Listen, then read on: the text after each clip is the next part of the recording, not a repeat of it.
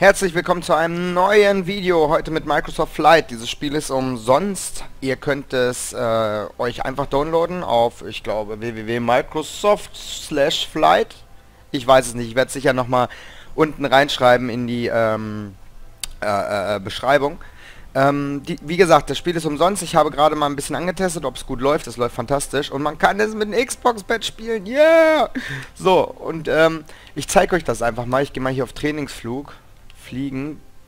Ähm, es ist eigentlich nett, dafür, dass das Spiel umsonst ist. Es hat nur 1,4 GB. Es gab schon ewig keinen Flight Simulator. Ah, hier kann ich jetzt einfach so, ja? Okay, Motor nicht gestartet. Zum Starten des Motors drücken Sie B. So. Dann wollen wir mal. Vollstoff.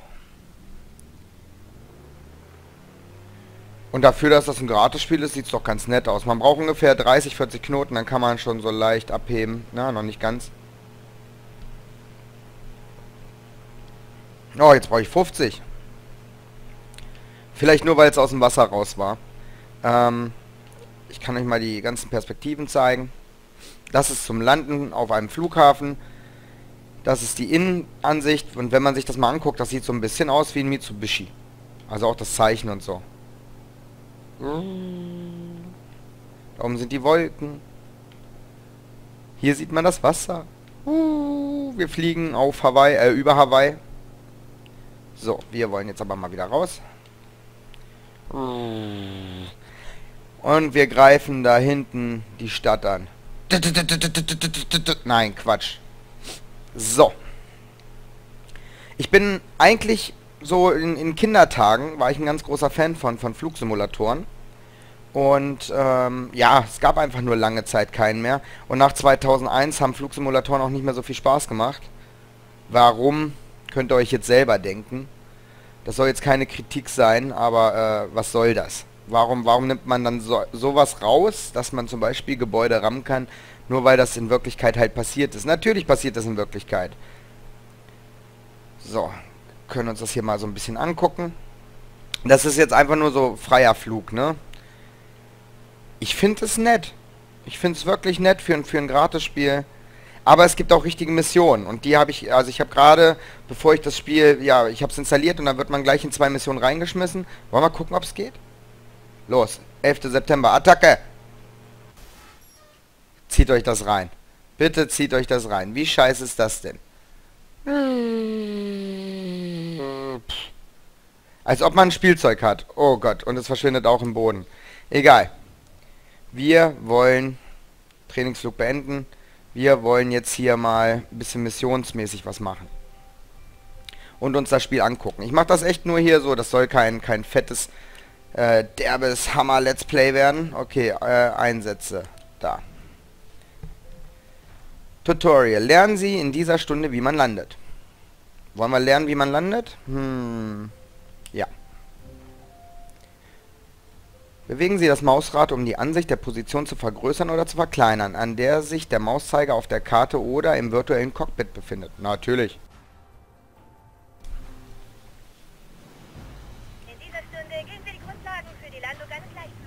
Ein bisschen leise ist die alte, ne? Müssen wir noch mal ganz kurz die alte la äh, lauter machen. Ich habe natürlich wie immer alles ein bisschen leiser gemacht. Was hast du gesagt? Was? Was? Was? Geil. Ja, ein bisschen lauter können wir es machen hier. So. Oh, ich habe nicht lauter gemacht, ich habe es nicht abgespeichert. Ah, entschuldigt bitte. So, das auf 30 und nochmal hier die alte. Wo ist sie? Finde ich super lustig. So. Sie sollten den Einsatz mehrmals fliegen. Ein perfekter Landeanflug und die Landung erfordern Übung. So. Wir fliegen die Icona 5 etwas südlich von Kona International. Natürlich. Die Piste ist riesig, kaum zu verfehlen. Sie wurde auf einem Lavafeld angelegt. Okay, bei der Landung kommt es auf drei Dinge an. Landung, Landung, Landung. Ach so. Genau, Tempo. Bist du lustig. Mein Lehrer hat mir immer gesagt, wer bremst, kommt runter. Ich will nicht so Jetzt fliegen. So will ich fliegen. Sie den Gashebel auf 4-5% oder etwa 3800 Umdrehungen. 4, 5 Prozent. Kann sie nicht 45 sagen? Gut. Fahren Sie jetzt das Fahrwerk aus. Bäh. Wie langsam das Fahrwerk ausfährt, ne? Sie ganz vorsichtig. Je ruhiger Sie fliegen, desto besser. Die Nase senkt sich ab. Ziehen Sie die Nase für einen sanften Sinkflug leicht hoch und wir bremsen ab. Ich bin zu langsam. Jetzt mal was. In diesem Teil der Stunde bediene ich den Gashebel. Konzentrieren Sie sich auf das Fliegen der Maschine. Okay. Das Tempo ist entscheidend für die Landung, also achten Sie auf die Geschwindigkeit. In dieser Maschine sollten wir die Piste mit etwa 5,5 Knoten anfliegen. 5, 5 Knoten. Hm, Wir fliegen etwas zu tief für die Landung. Versuchen wir den Abschnitt nochmal. Was? Alter! Kontrollpunkt laden. Du gehst mir auf den Sack. Lass mich doch so fliegen, wie ich will. Warum, warum bedient sie denn das Gaspedal? Alter. Jetzt sind Sie dran. Ziehen Sie den Volle Power. auf 4,5% oder etwa Ja, mach ich gleich. 3800 Umdrehungen. Ich muss erstmal...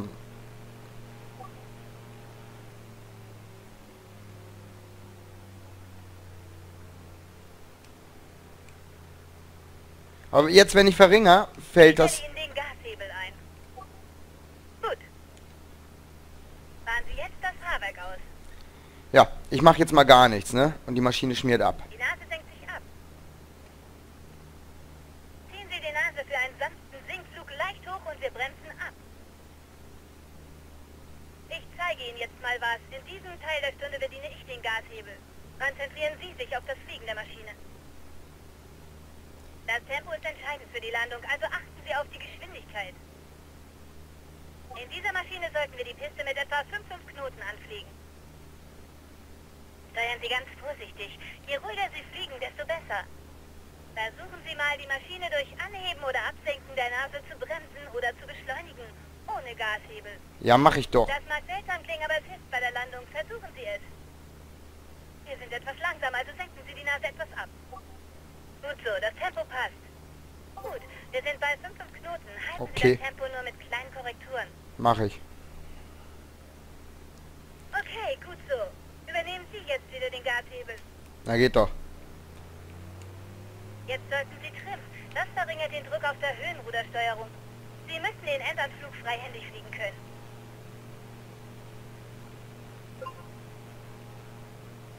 Los! Sehen Sie die Lichter links von der Piste? Nö. Man nennt sie Partylichter. Na, Wir natürlich. sagen Ihnen, dass Sie auf dem Gleitpfad für die Piste sind. Das sind die Partylichter. Sind alle Lichter rot, sind Sie zu niedrig. Sind alle weiß, sind Sie zu hoch. Bei zwei weißen und zwei roten sind Sie genau auf dem Gleitpfad. Natürlich haben nicht alle Flughäfen diese Lichter. Manche nutzen ein ähnliches System namens VASI. Jetzt sehen Sie zwei weiße und zwei rote Lichter, also sind wir genau auf dem Gleitpfad. Gut, das läuft toll. Mit dem Gashebel korrigieren Sie die Höhe des Landeanflugs. Wir fliegen etwas zu hoch, also nehmen Sie etwas Gas raus. Wir brauchen zwei weiße und zwei rote Lichter. Wir sind genau da, wo wir sein müssen. Okay. Stellen Sie den Gashebel nach der Korrektur wieder zurück. Okay, gleich haben wir es. Nehmen Sie nur kleine Korrekturen vor. Ja. Kann ich jetzt aufsetzen, Lady? Und jetzt reduzieren Sie über der Piste den Antrieb auf Leerlauf. Und halten Sie die Nase oben, damit das Flugzeug aufsetzen kann. Hm. Ja, für eine gute Landung braucht es etwas Übung. Ach, war doch perfekt. Und jetzt sanft abbremsen, bis wir bei etwa 1 0 Knoten sind. Achso, ah. Und nochmal, Übung macht den Meister. Na Mensch, war doch gut. Beschwer dich doch nicht. Doofe Pute. So, Auszeichnung aufgesetzt. Okay, okay. Ey, ich muss euch mal diese Auszeichnung zeigen. Da habe ich vorhin was freigespielt, als ich das nur mal angetestet habe. Mal hier zurück. Hopp. Wo ist denn mein Profil? Spielen. Ach, Pilotenprofil, da. Irgendwo müssen noch die Auszeichnungen da. Auszeichnung. Da, Kokosnuss BH. Schließen Sie den Einsatz Hochzeitsfeier ab. Da muss ich zu so einer Yacht hinfliegen. Hammerhart. Ziehen wir uns die nächste Aktivität mal rein. So, was haben wir denn da? Die Einführung in die Bo... Hier, die Hochzeitsfeier. Die könnte ich euch gerne nochmal zeigen. Das war eigentlich ganz lustig. Geschätzte Zeit 15 Minuten, ist mir ein bisschen zu lang. Grundlagen waren auch öde. Ah, hier fangen wir mit der Boeing an. Das andere, Fl- also in der freien Version gibt es glaube ich nur zwei Flugzeuge. Einmal diesen komischen Mitsubishi, den ich gerade hatte und hier diese Boeing. Alles weitere muss man sich dazu kaufen, aber äh, mache ich nicht. ich will das Spiel nur mal so ein bisschen antesten. Aber ich finde es echt lustig. Es ist sehr Kate-mäßig. Sind Sie bereit, die Stearman zu fliegen? Natürlich. Schauen wir uns die Maschine vorher kurz an. Na, dann zeig mal her. Im Zweiten Weltkrieg diente die Boeing PT-17 Stearman als Schulflugzeug. Mm. Nach dem Krieg wurden tausende Stearmans auf dem freien Markt verkauft. Viele wurden zu Agrarfliegern umgerüstet, einige werden auf den Inseln noch eingesetzt. Andere sind in der Hand von Fliegereifans und Flugschauteilnehmern.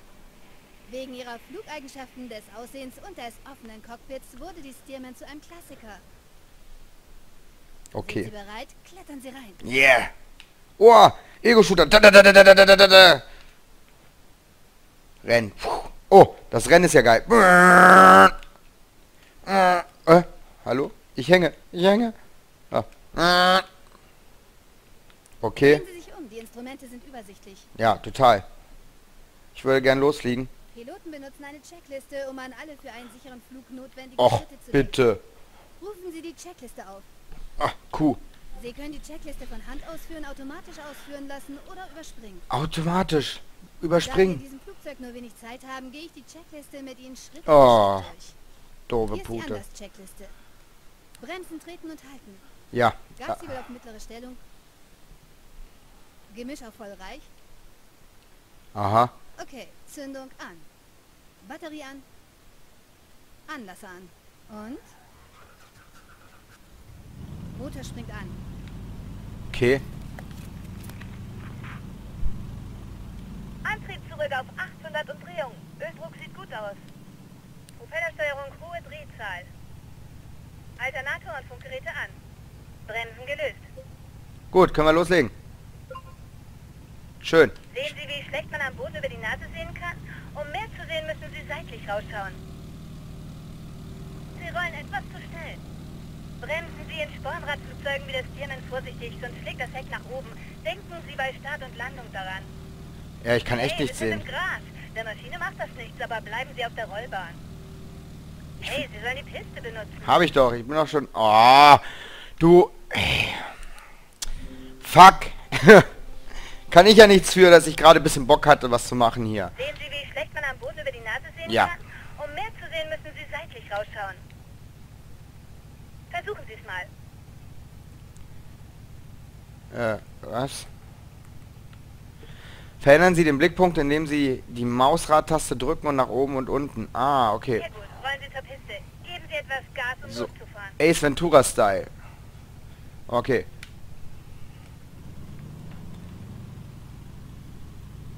Bremsen Sie in Spornradflugzeugen wie das Tiermann vorsichtig, sonst schlägt das Heck nach oben.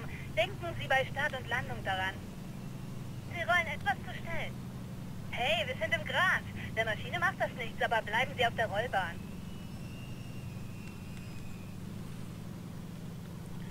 Achso, auf der anderen Seite rausgucken. So besser. Arsch.